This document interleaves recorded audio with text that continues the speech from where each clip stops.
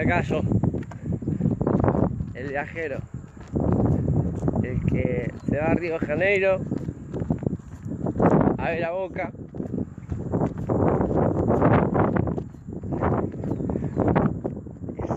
Qué locura.